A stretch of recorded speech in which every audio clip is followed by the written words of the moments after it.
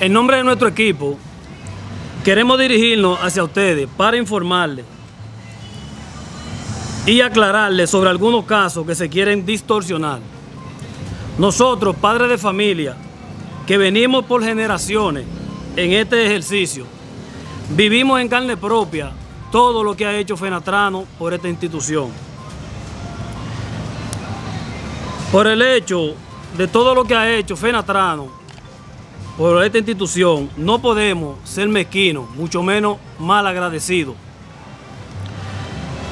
Eh, no se puede morder la mano de quien te da de comer.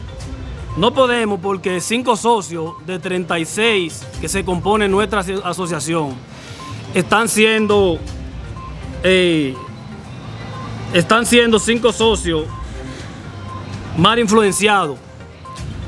Mal influenciados por personas que han tenido que ser hasta expulsados de nuestra institución por violar constantemente nuestro estatuto, por someter nuestra institución durante más de 12 años al irrespeto.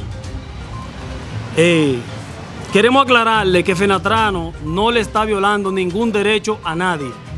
Por el contrario, se lo quieren violar a ellos, lo cual nosotros, la mayoría, no estamos de acuerdo.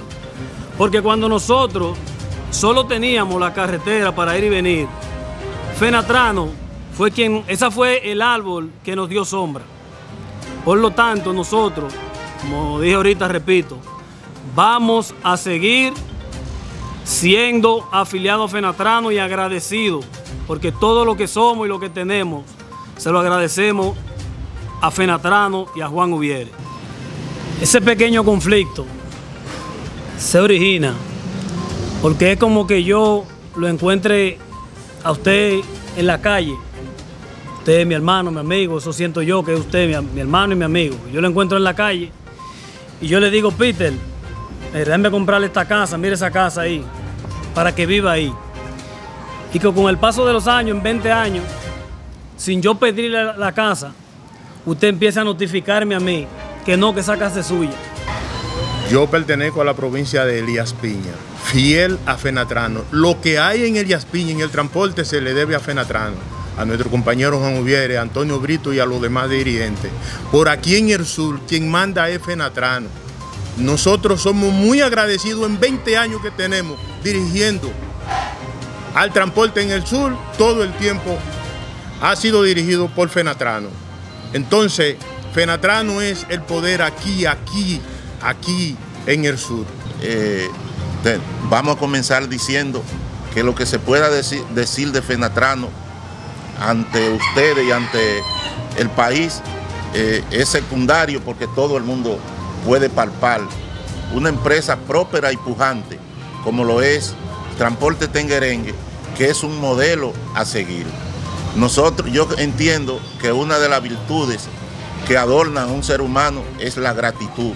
Y todo el mundo sabemos lo que hemos logrado a través de Fenatrano.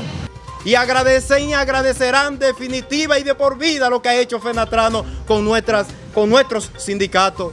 En lo que concierne a Transporte Tenguerengue, todo el mundo, este pueblo sabe lo que era Transporte Tenguerengue años atrás. Cuando nosotros llegamos a la federación, no teníamos más que una mano adelante y otra atrás. Y gracias a Dios, primeramente debo decir, y a Juan Ubiere que vino aquí a Tenguerengue en un momento de crisis cuando no habían quemado esta terminal. Y Juan Ubiere nos dijo a nosotros, de preocúpense, vamos a trabajar unidos para echar este sindicato adelante.